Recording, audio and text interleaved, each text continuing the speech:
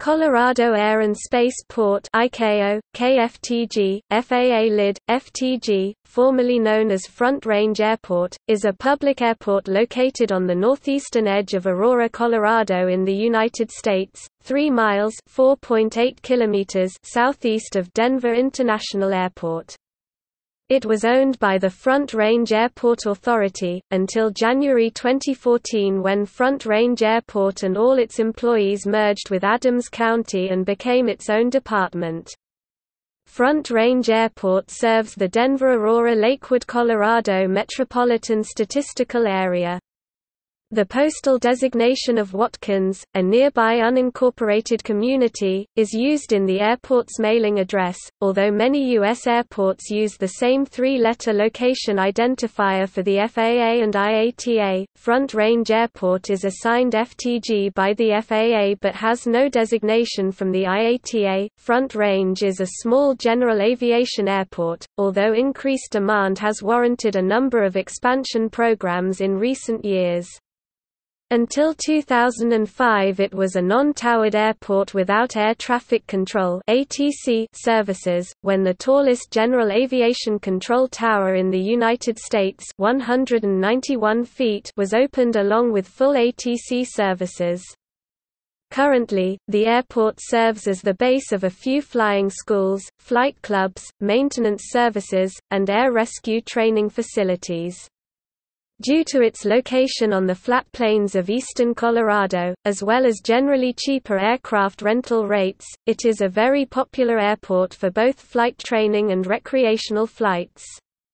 It is also popular among owners and pilots of kit-built aircraft, and the Experimental Aircraft Association (EAA) has a very strong presence at Front Range, which frequently hosts the EAA Young Eagles rallies.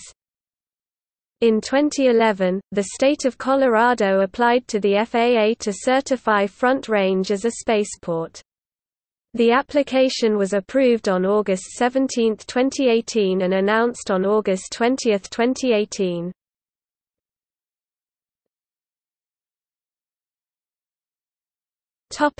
History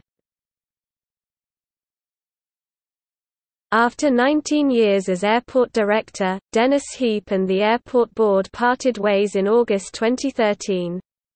Heap was replaced in the late spring of 2014 by Dave Ruppel. Shortly afterwards, the Front Range Airport Authority was dissolved and the airport and all employees were folded into Adams County on January 1, 2014. Since then, the airport has seen marked improvement in general aviation, air taxi, military traffic as well as other air-based businesses, such as the helicopter-based businesses of Air Methods. As well as Topic facilities and aircraft Front Range Airport covers an area of 3,980 acres 1,610 hectares which contains two asphalt-paved runways, 826 and 1735, each measuring 8,000 by 100 feet 2,438 by 30 meters. For the 12-month period ending December 31, 2005, the airport had 94,600 125 aircraft operations, an average of 259 per days, 99% general aviation, 1% air taxi and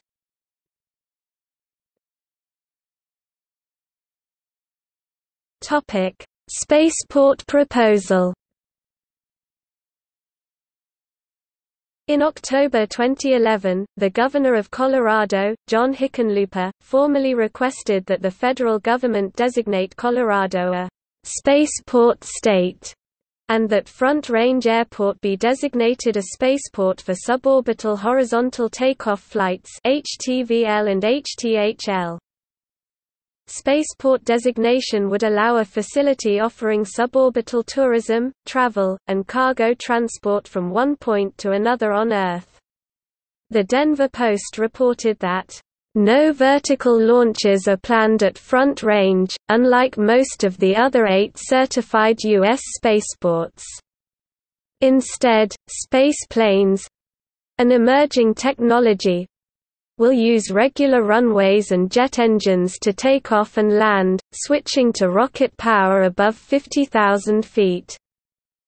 Media sources have suggested that the Sierra Nevada Dream Chaser spaceplane may be used for suborbital spaceflights and that the Colorado spaceport may prove to be the preferred location, over Spaceport America in New Mexico. As of May 2012, news reports indicate that the Spaceport Colorado proposal is gaining traction with political interests at the state and federal level as well as with industry participants.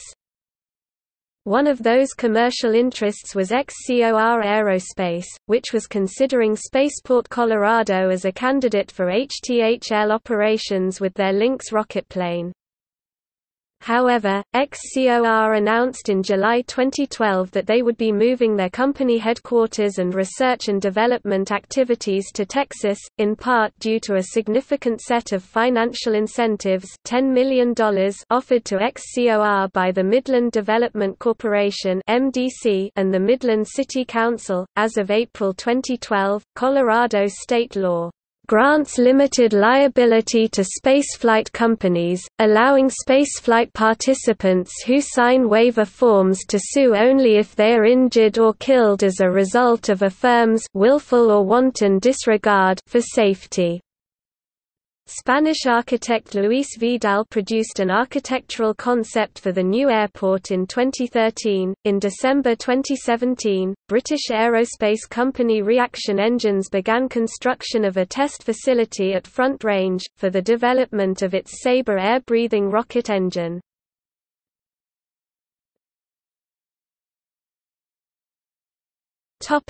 See also List of airports in the Denver area